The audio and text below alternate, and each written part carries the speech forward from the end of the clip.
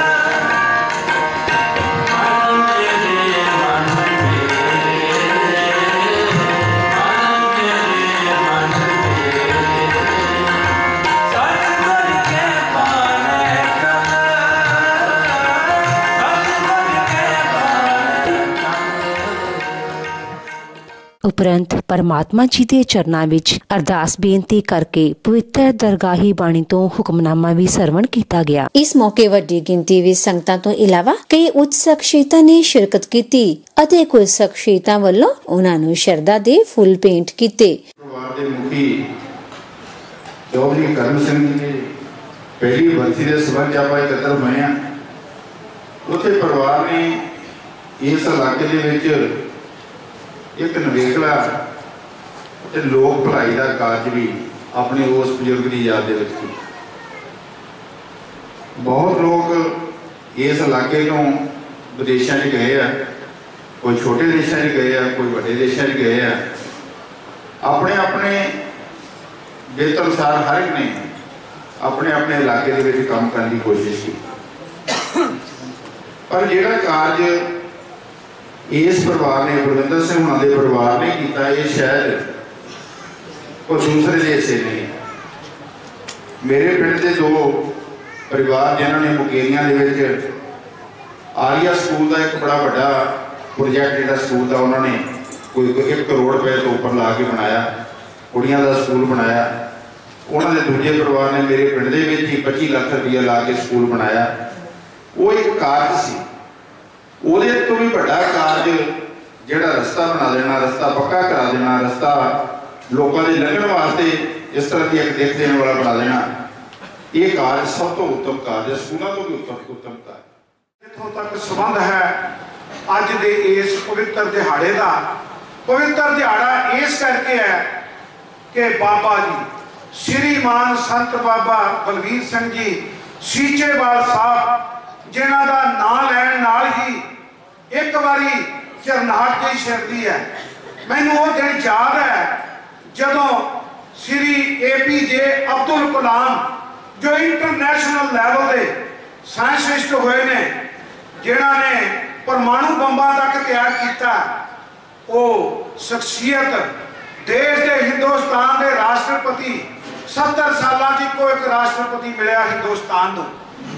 ਉਹਨਾਂ ਨੇ ਇੱਛਾ ਪ੍ਰਗਟ ਕੀਤੀ ਕਿ ਬਾਬਾ ਬਲਵੀਰ ਸਿੰਘ ਬਾਰੇ ਮੈਂ ਬੜਾ ਕੁਝ ਸੁਣਿਆ ਤੇ ਮੈਂ ਤਾਂ ਉਹਦੇ ਦਰਸ਼ਨ ਕਰਨੇ ਚਾਹੁੰਦਾ। ਕਿਉਂਕਿ ਬਾਬਾ ਬਲਵੀਰ ਸਿੰਘ ਜੀ ਦੇ ਛੋਟੇ ਹੁੰਦਿਆਂ ਕੰਨ ਵਿੱਚ ਗੁਰਬਾਣੀ ਦੇ ਤੇ ਰਸੀਏ ਹੈ।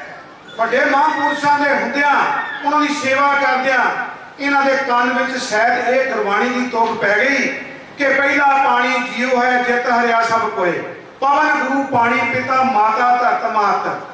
ਅਸੀਂ ਤੇ ਆਪਣੇ ਬੱਚਿਆਂ ਦਾ ਵੀ ਫਿਕਰ ਨਹੀਂ ਕਰਦੇ। ਅਸੀਂ ਆਪ ਪਰਾਲੀ ਸਾੜੀ ਜਾਂਦੇ ਆ ਆਪ ਤੂੜੀ ਸਾੜੀ ਜਾਂਦੇ ਆ ਆਪ ਰੋਜ਼ ਗੰਦ ਪਾਉਂਦੇ ਆ ਲੇਕਿਨ ਬਾਬਾ ਜੀ, ਆਪ ਹੱਥੀ ਉਹ ਜਾ ਕੇ ਫਿਲਮ ਦੇਖੋ, ਮੇਰੀ ਮਾਤਾ ਜੀ ਨੇ ਅਮਰੀਕਾ ਤੋਂ ਫੋਨ ਕੀਤਾ। ਉਹ ਕਹਿੰਦੇ, ਮੈਂ ਫਿਲਮ ਦੇਖੀ, ਬਾਬਾ ਜੀ ਦੀ ਮੈਂ ਦਰਸ਼ਨ ਕਰਨੇ। ਹੈ। ਸਤਨਾਮ ਸਿੰਘ ਧਨੋਏ ਨੂੰ ਕਿਹਾ, ਇਹ ਕਹਿੰਦਾ, ਬਾਬਾ ਜੀ ਦੇ ਦਰਸ਼ਨ ਧਨੋਏ ਕਰਾ ਦਿੰਨੇ ਉੱਥੇ ਆ ਗਏ ਉੱਥੇ ਸੇਵਾ ਕਰਦੇ ਆ, ਉੱਥੇ ਬਾਬਾ ਜੀ ਦੇ ਦਰਸ਼ਨ ਕੀਤੇ ਔਰ ਜਿਹੜੀਆਂ ਉਹ ਫਿਲਮਾਂ ਸੀ, ਉਹਨਾਂ ਦੇ ਵਿੱਚੋਂ ਸੱਪ ਬਾਬਾ ਜੀ ਦੇ ਹੱਥਾਂ 'ਚੋਂ ਇਦਾਂ ਜਾਣ ਤੇ ਬਾਬਾ ਜੀ ਆਪ ਹੱਥੀ ਬੁੱਲ ਪਕੌਲੀ ਚੁੱਕ ਕੇ ਸੱਪਾਂ ਵਿੱਚ ਇਹ ਸੇਵਾ ਜਿਹੜੀ ਇਹਨਾਂ ਨੇ ਸ਼ੁਰੂ ਕੀਤੀ, ਗੁਰੂ ਨਾਨਕ ਸਾਹਿਬ ਜੀ ਦੀ ਉਸ ਬਹੀ ਦੀ। ਮੇਰਾ ਇਸ ਪਰਿਵਾਰ ਦੇ ਨਾਲ ਕੋਈ ਜ਼ਿਆਦਾ ਪੁਰਾਣੀ ਨੇੜਤਾ ਨਹੀਂ ਸੀ।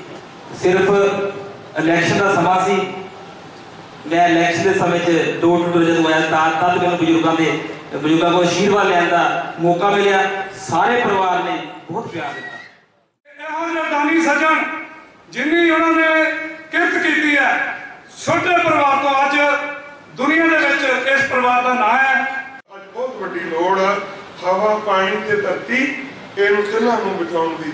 ਤਾਂ ਹੀ ਸਾਡਾ ਭਵਿੱਖ ਜਿਹੜਾ ਸੁਰੱਖਿਅਤ ਰਹਿ ਸਕਦਾ। ਸੋ ਗੁਰੂ ਪਿਆਰਿਓ, ਬਾਬੇ ਨਾਨਕ ਨੇ ਕੋਈ ਕਸਰ ਛੱਡੀ ਨਹੀਂ ਤੇ ਉਹ ਦਿੰਦਾ ਦੇ ਲੈਂਦੇ ਤੱਕ ਪਾਈ। ਸਾਡੇ ਵੱਡਿਆਂ ਨੂੰ ਵੀ ਦੇ ਰਿਹਾ ਸੀ, ਸਾਨੂੰ ਵੀ ਦੇ ਰਿਹਾ ਤੇ ਸਾਡੀਆਂ ਆਉਣ ਵਾਲੀਆਂ ਪੀੜ੍ਹੀਆਂ ਨੂੰ ਵੀ ਉਹਨੇ ਦੇਣਾ।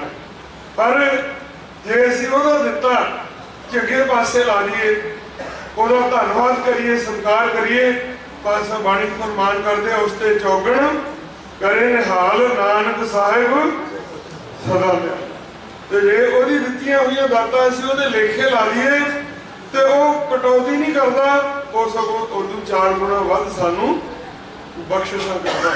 ਸੋ ਉਹ ਦਿੱਤਾ, ਉਹਦਾ ਸਾਰਾ ਕੁਝ ਜੇ ਅਸੀਂ ਚੰਗੇ ਪਾਸੇ ਲਾ ਦਈਏ ਸੇਵਾ ਚ ਲਾ ਦਈਏ ਕਿਸੇ ਗਰੀਬ ਦੇ ਭਲੇ ਵਿੱਚ ਲਾ ਦਈਏ ਤੇ ਉਹ ਸਾਡਾ ਦਹਿ ਦੁਨੀਆ 70 ਆਖ ਕਹਿੰਦੇ ਜੋ ਅਸੀਂ ਕਰਦੇ ਆ 10 ਗੁਣਾ ਇੱਥੇ ਹੀ ਮਿਲ ਜਾਂਦਾ ਬੰਦੇ ਨੂੰ। ਤੇ 70 ਗੁਣਾ ਦਰਗਾਹ ਦੇ ਵਿੱਚ ਉਹਦਾ ਫਲ ਮਿਲਦਾ। ਸੋ ਇਸ ਵਾਸਤੇ ਅੱਜ ਇਹ ਸਾਰੇ ਗੁਰਮੁਖ ਪਰਿਵਾਰ ਨੇ ਬਾਹਰ ਜਾ ਕੇ ਦਸਾਂ ਨੌਹਾਂ ਦੀ ਕਿਰਤ ਕਮਾਈ ਕੀਤੀ ਹੈ। ਤੋ ਕਿਰਤ ਕਮਾਈ ਚੋਂ ਪਿੰਡ ਦੀ ਭਲੇ ਵਾਸਤੇ, ਇਲਾਕੇ ਦੇ ਭਲੇ ਵਾਸਤੇ ਬਹੁਤ ਵਧੀਆ ਰਸਤਾ ਤਿਆਰ ਕੀਤਾ ਤੇ ਜਿਹੜਾ ਰਾਹ ਬਣਾ ਦੇਣਾ, ਇਹਦੇ ਵਰਗਾ ਕੋਈ ਵੱਡਾ ਪੁੰਨ ਨਹੀਂ। ਸੋ ਅਸੀਂ ਬਹੁਤ ਬਹੁਤ ਸਾਰੀ ਗੁਰ ਸੰਗਤ ਦਾ ਧੰਨਵਾਦ ਕਰਦੇ ਗੁਰੂ ਪਾਤਸ਼ਾਹ ਕਿਰਪਾ ਕਰਨ ਸਭ ਦੀ ਹਾਜ਼ਰੀ। ਸਭ ਦਾ ਦਿਲੀ ਪਿਆਰ, ਸਭ ਦਾ ਸਤਿਕਾਰ ਸਤਿਗੁਰ ਆਪਣੇ ਦਰ ਤੇ ਪ੍ਰਵਾਨ ਕਰਨ।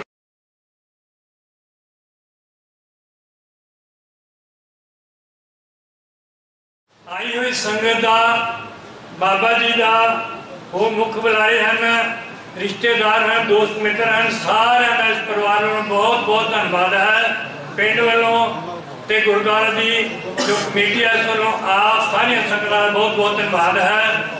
ਸੋ ਹੁਣ ਸਾਰੀਆਂ ਸੰਗਤਾਂ ਨੇ ਪ੍ਰਸ਼ਾਦਾ ਛਕ ਕੇ ਜਾਣਾ ਹੈ। ਵਾਹਿਗੁਰੂ ਜੀ ਕਾ ਖਾਲਸਾ, ਵਾਹਿਗੁਰੂ ਜੀ